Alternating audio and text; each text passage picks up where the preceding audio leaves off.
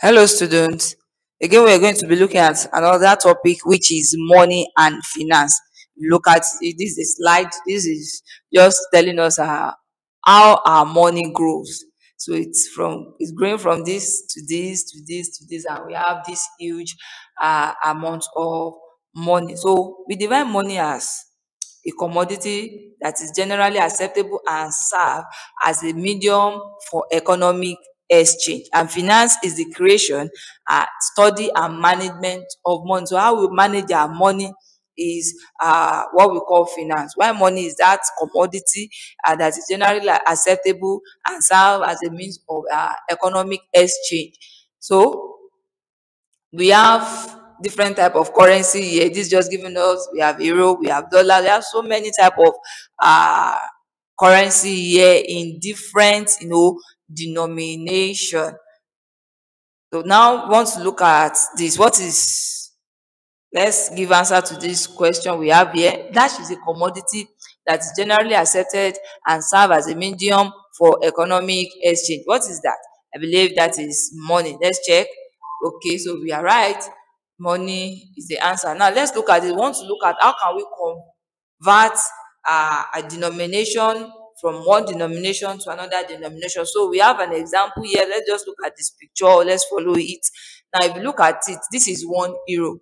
By the time you turn, you multiply with 1.5, it gives us this. And if you want to reduce it back from uh, 1.15, then you divide uh, 1.15 with uh, what we have here, then it gives us 1 euro. So with that, this is just an example of how we can actually convert uh, one denomination to another denomination or one currency to another currency. Now let's look at another example here. In 2017, one euro could be exchanged for 1.50 Australia dollars. Now, how many dollars can be buy with how many Australia dollars can be buy with 450 euros? So now since they told us that we have one euro and we can exchange one euro to be what 1.50 Australia dollar. So if you want to get uh Australia dollar with this euro, which is 450 euro, what we just need to do is what we multiply 1.5 Australia dollars with 450 euro. So by the time we multiply 450 euro with uh 1.5 Australia dollars, then we can now have uh 675 Australia dollars. So we can have 675 Australia dollar from 450 euro. So we have this. Now 1.50 multiplied by 450 will give us 675. So let's check. Now we are right. Now let's look at another one. Exchange rate. An exchange rate is the rate at which one currency will be exchanged for another currency and affect trade and the movement of money between countries. So by the time you exchange one currency, you have a, uh, US dollars, you want to exchange it with Australia dollar, it will affect the trade and the movement of money between that uh, country. Now we have different there, different ways uh, we can look at this. This is we have dollar, we have pounds, we have so different type of money here. So now what is earning? What is earning? Uh, earning is now let's look at it. Under earning we have what? Any means that we uh, take home what we earn after we discharge a goods or uh, a service to someone. So net pay is what is left after deducting uh, tax, insurance, pension contributions are taken from our gross earnings. So we have our net plane. After we have deducted everything that we need to deduct from our gross uh, earning, like tax, insurance, pension, contribution. And net pay, that is gross pay minus deduction. That's how we can actually calculate our net pay. Gross pay minus deduction. A bonus is an extra payment sometimes added to an employee basic uh, pay. So when we have a bonus, it's just an, an addition to our basic pay as an employee. Now, pairs work is another payment method. So uh, employee are paid for the numbers of article made, not for the time taken. So when you are talking about well, it's just like another way of you know re-enumerating an employee you know by adding to the basic pay of an employee based on the numbers of article that is being made but not the time that is being taken for that article to be made so that is how we calculate our net pay and net pay is calculated by subtracting our gross payment from our deduction deduction like what tax insurance and pension contribution now we have an example here Neo works at home making clothes the pattern and the materials are provided by the company. The table shows the rate she's paid and the number of items she makes in one week. So he has jacket. She's being paid 25 rand when she makes three. So for trousers, 11 rand for 12. For a shirt, 13 rand for seven uh, numbers of shirts. Now for dress, we have 12 rand for even zero numbers. So that applies for dress.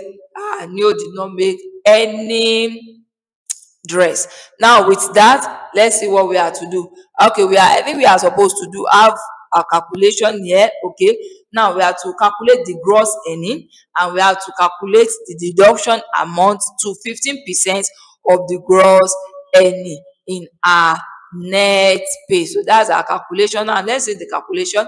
Now for the gross earning, What's the gross and that is the total amount of money she earned after making the shirts, the dress, uh, and every other, the jacket and every other thing. So for the first one, we have 25 uh, times 3. That is, it makes, she, it makes 3 and each one stand for 25 rands. So for the second one, uh, she makes 12 and each one stands for 11 rands. The third one, she makes 7 and each one start for 13 rands. And for the last one, she makes zero and each dress even start from what? 12 rands. So we have to get the gross earning by multiplying 25 times 3 plus 11 times 12 plus 13 times 7 plus 12 times 0. So that will give us the total amount she's earning after making all the clothing uh, material. So let's check.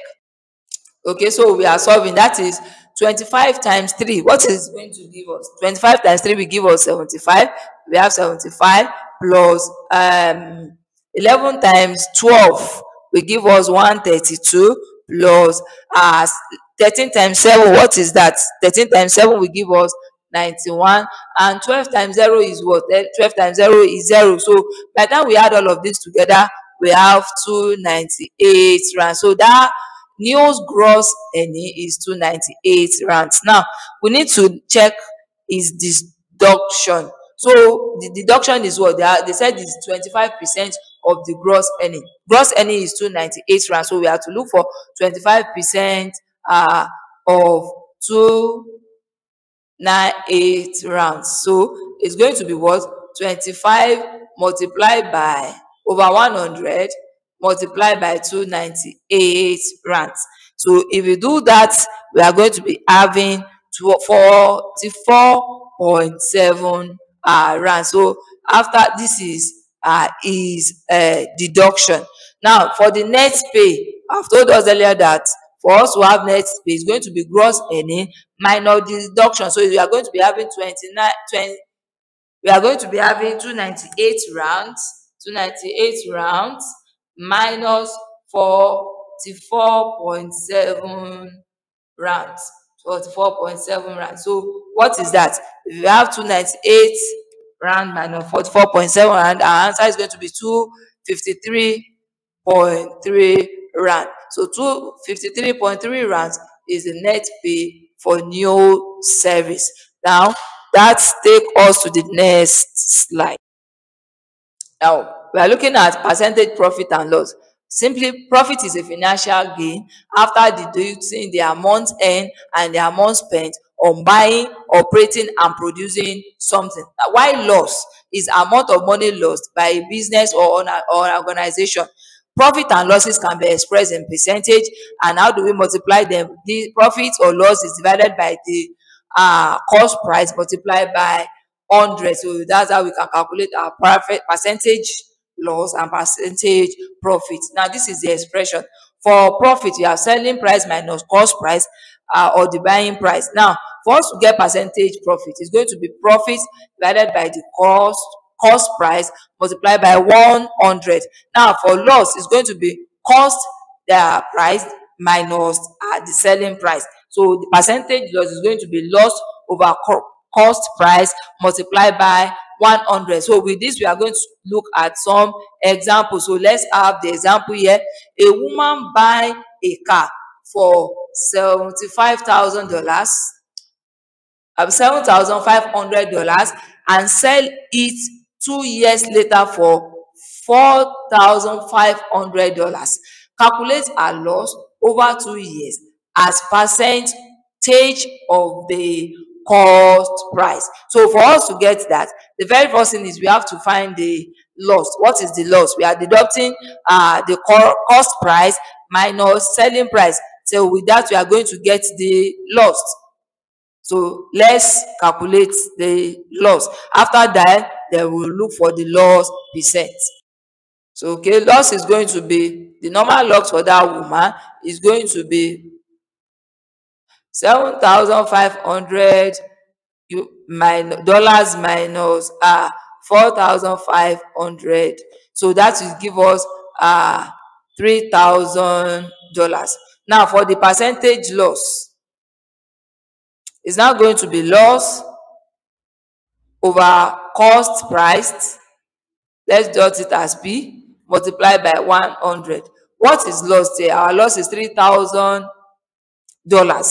And why the cost price is $7,500. So it's going to be 3,000 over 7,500 multiplied by 100. So this uh, remember, we are dealing with percent, so this can actually cancel this. So we have uh, 3,000 divided by 75. 3,000 divided by 75 will give us 40. So we have 40 percent. So this leads us to the next uh, example that we have. Okay, this leads us to depre uh, depreciation. When you're talking about depreciation, we have when something become worth less over a period of time it is said to depreciate. So when something reduces its value, then they will say that that's a, a quantity or that item depreciates. So when we want to calculate uh, depreciation ma mathematically, it's going to be what cost price minus the selling price. Cost price minus the selling price. So if we have an example here to do, we have to subtract uh, the cost price minus seven the selling price. So cost price minus the selling price, which is four thousand five hundred dollars minus four thousand and five dollars. That's going to be what? That is uh four hundred and ninety-five dollars. So the depreciation value is four ninety-five dollars. Now we have an activities here for us to do. Now in 2017, one euro could be exchanged for what? Based on our previous activities, one euro could be exchanged for what? One euro could be exchanged for 1.5 uh, Australia dollars. So 1.5 Australia dollar. Let's check. Yes, we are right. So this take us to the end of the class. We want you to subscribe to our channel www.edubbey.com for the full interactive content of this class. Thanks for listening.